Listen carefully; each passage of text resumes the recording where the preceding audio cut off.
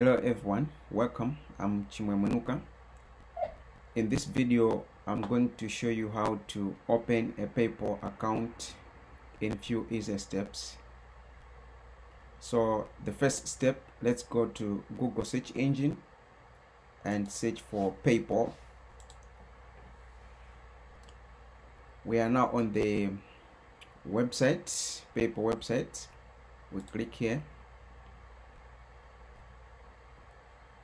this is the homepage for PayPal. We have uh, a lot of information, but uh, this is the PayPal homepage. As you can see, you can explore it. A lot of information here, but uh, our interest is on this and this one and this one. So first uh, let me explain about these two.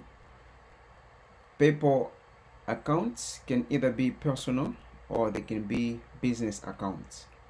So if you choose personal account that's as it suggests for personal activities personal transactions while if you choose the business account is for business transactions so the there are few differences.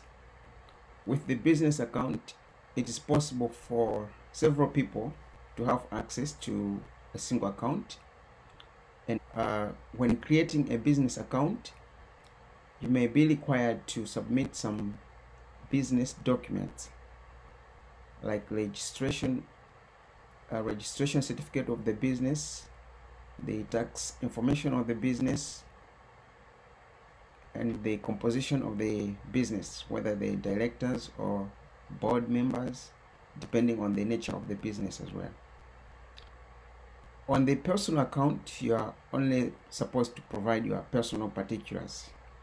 So for this tutorial, I will use the personal account, but the process is the same.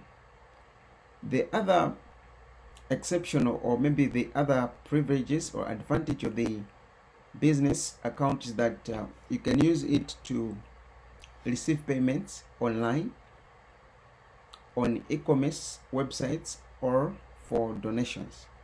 So if you are running a charity organization where you accept donations then you have to choose the business account and also if you have an online store where you accept or you want to be accepting direct payments online then as well you also have to choose the business account.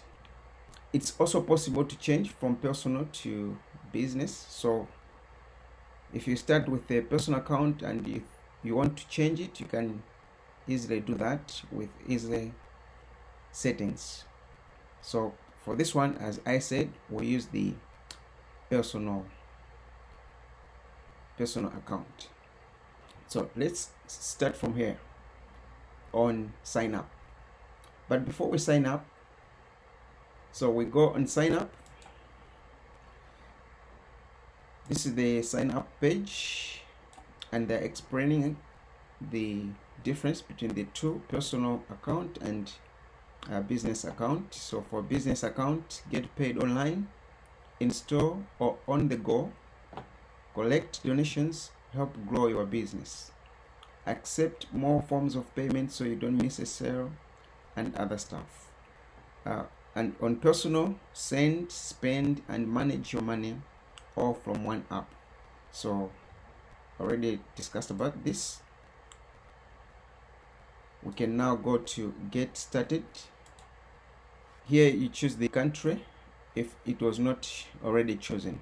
So here you choose uh, the country where you live or where you have access for verification especially for phone numbers. So in my case right now I'm in Japan. So I'll maintain Japan here. And here I'll put my phone number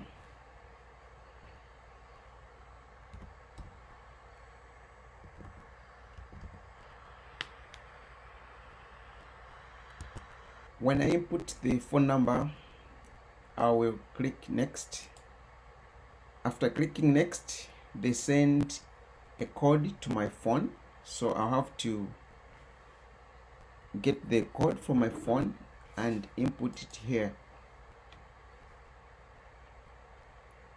So here's the code.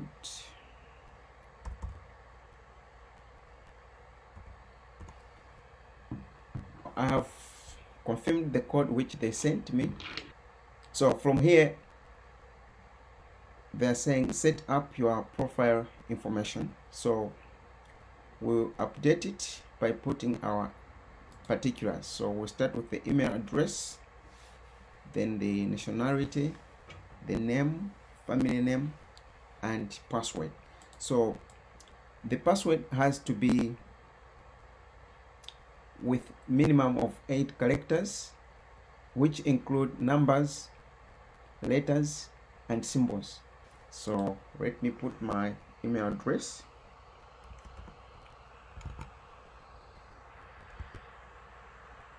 The information is adequate. So now that we have all information provided we are ready to proceed to set up our profile. So we'll click next then we add our personal address or postal details including date of birth building name street name city prefecture postal code. On postal code make sure you know the postal code of your area. This is very important because if you don't put the postal code you cannot proceed so remember to tick this box.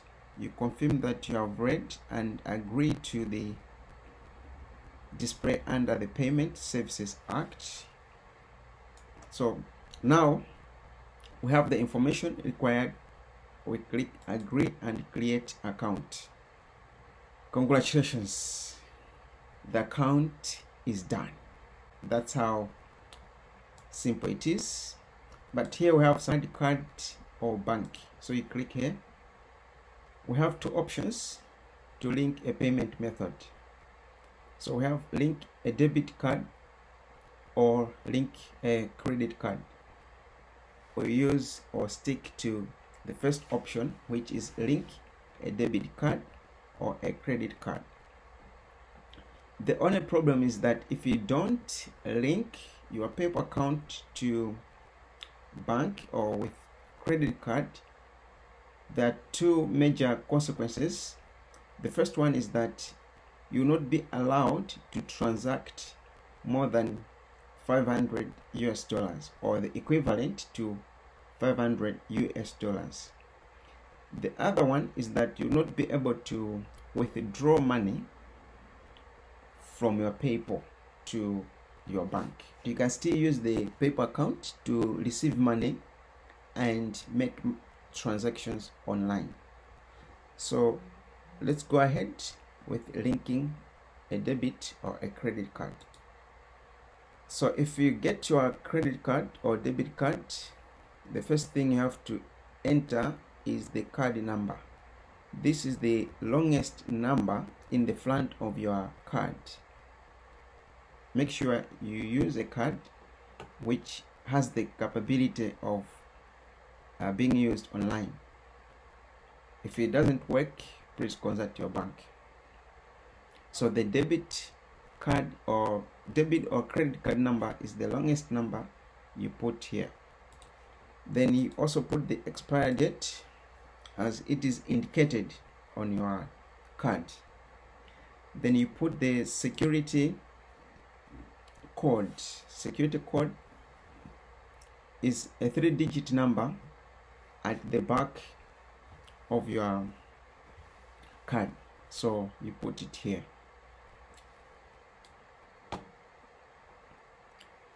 Now I've cancelled, but our account is ready.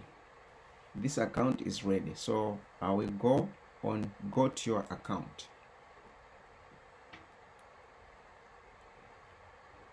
I'm in the dashboard of my account. As you can see, the account is ready. So here we have uh, this send. When you want to send money you click wherever they send. So you have send here.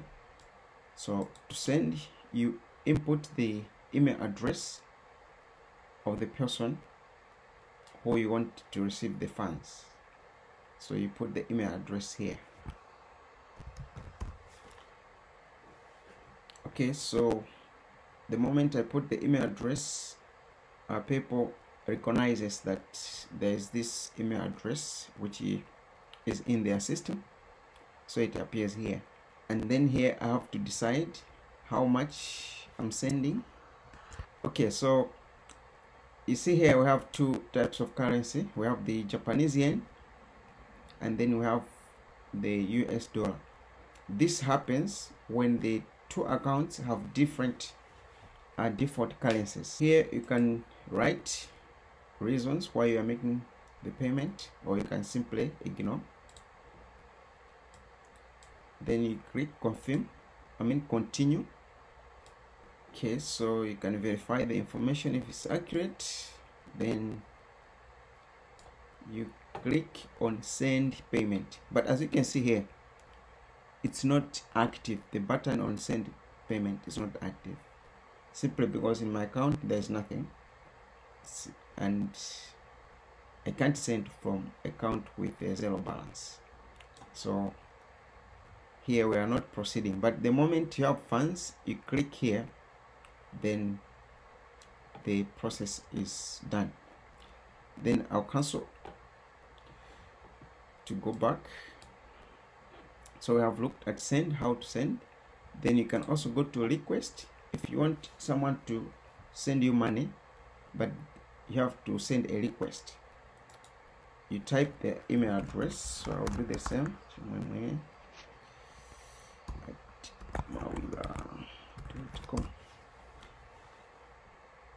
okay so if we are to request this person to send money let's say we want the person to send us 5,000 500,000 yen. We click here request payment. Here the request has been sent to this email which means this email has received a link and they will simply have to click that link to uh, finish up the process. But since this is simply a demonstration I will not accept this. Actually I don't have all this money. When you click on wallet you'll be able to see the balance in your account. You'll be able to see the balance in all the currency types if you have multiple currencies and you can as you can see here you can even add some more currencies which you prefer or you want. On activity activity it's where you be able to see all the activities that have been ha happening in your account. So for example we tried this request. It is showing here that today on 14th April we made a request of this amount. You click here you can see the details to where we are sending and everything. So whether you receive the money it will appear here. The amount the recipient details and all sorts of uh, required information. So here as you can see you can also get the app the mobile app. It's more convenient. So if you like to be using the app you can get it on Google Play Store or if you use Apple you can also get it.